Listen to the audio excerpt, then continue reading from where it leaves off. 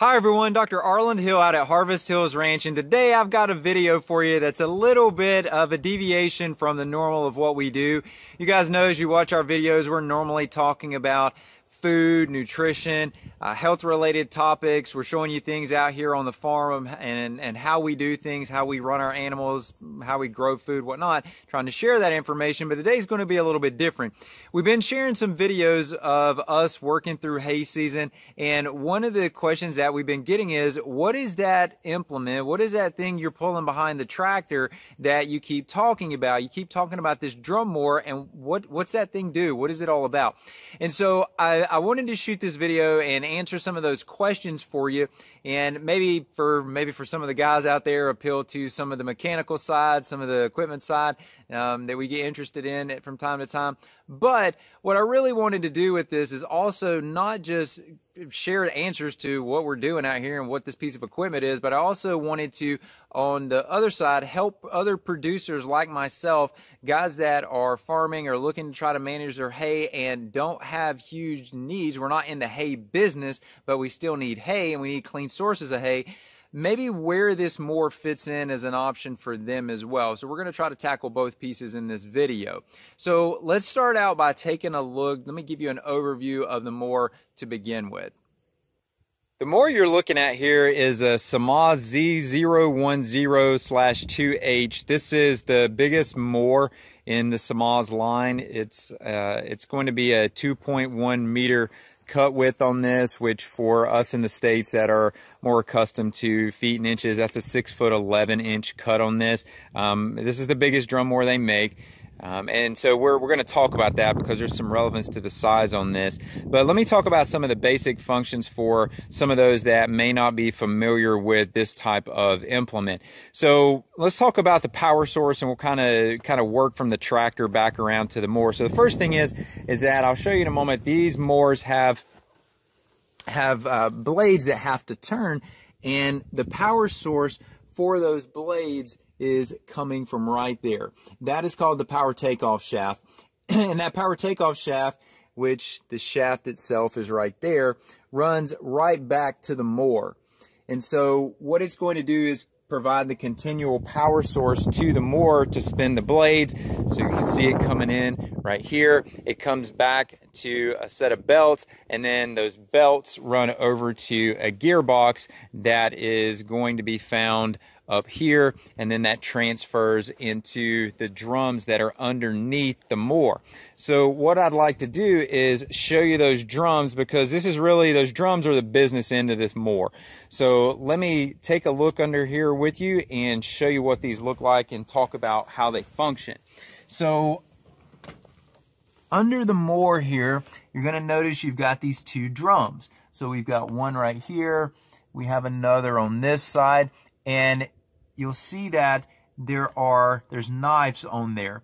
So those knives there's four on each one of those drums and they skid across the ground. And what they do is those two drums spin opposite of each other. So literally they begin to throw the grass that they're cutting right into right in between them.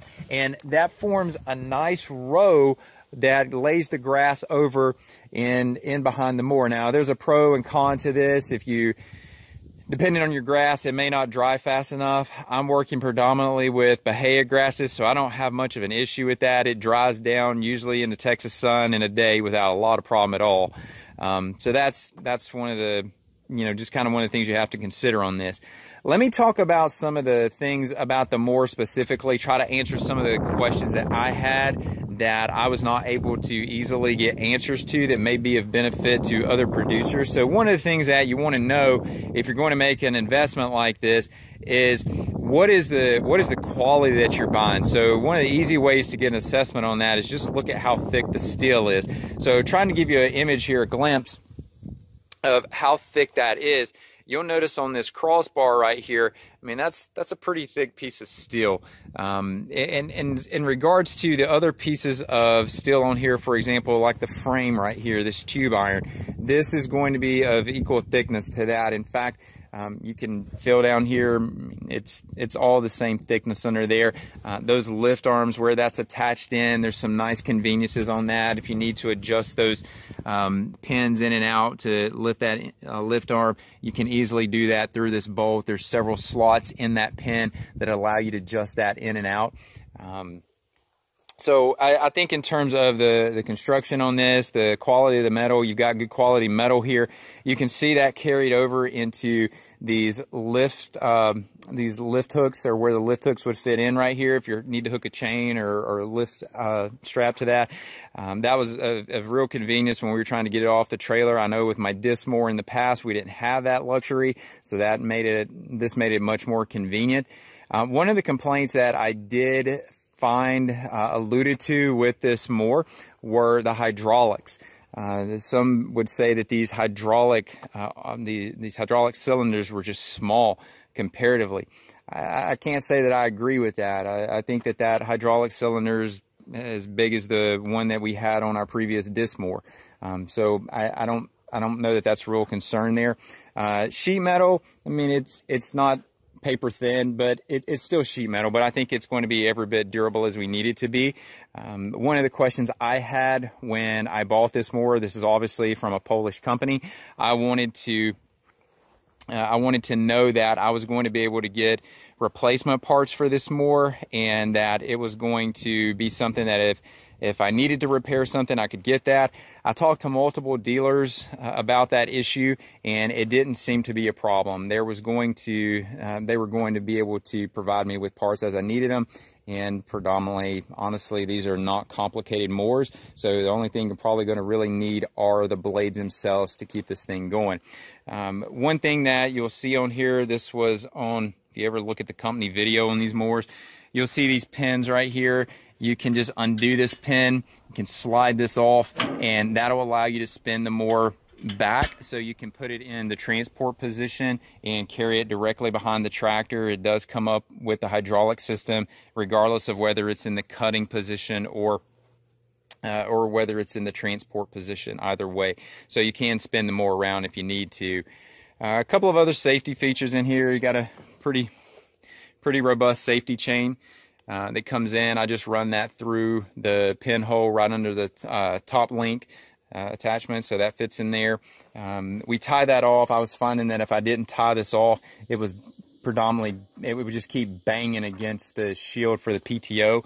So I wanted to get that up and away from the PTO shaft and not let that consistently bang. Uh, one of the things I will tell you about this more, um, I'm running this, uh, this more uh, you can see the tractor that I'm running this on. This is a 120 horse Case. Uh, I do also have a 55 horse John Deere. And I, the John Deere would likely spin the drums and has enough PTO horsepower to turn those drums, but it just does not have the weight to handle this more. Um, the the Case doesn't have any issue with the mower; it's plenty plenty stable, but I would not put that more behind the behind the John Deere. I just don't think that would be a fun ride.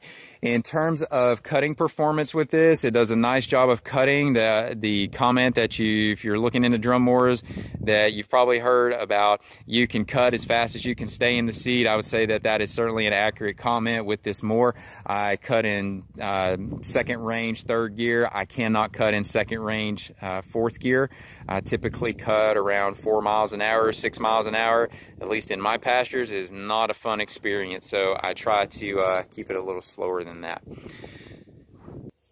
Hey, hopefully you found this information interesting. If you're uh, if you're just kind of having some questions about what is that drum mower you guys keep talking about, hopefully we were able to provide you a little insight into what this thing does and how it functions. If you're on the producer side, hopefully this was able to answer some questions for you that you maybe haven't been able to find elsewhere. Um, you know, it was always a challenge finding some information. I had to go go to the dealer and just look for myself firsthand, and then we decided to go this direction. It made more sense for us. The investment was nowhere near as big on this as it would have been for a disc mower, and with me not being in the hay business, this was a better route for us. So, hey, I appreciate you taking the time to listen. If you like the information, hit it with a thumbs up. If you think it can be beneficial to someone else out there, let them know about it as well and uh, share this information. Hey, thanks for listening again, guys. I'm Dr. Arland Hill out at Harvest Hills Ranch, and we'll talk with you real soon. Take care.